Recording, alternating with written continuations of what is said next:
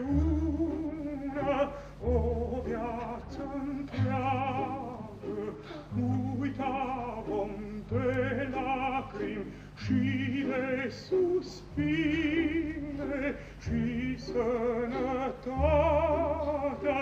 va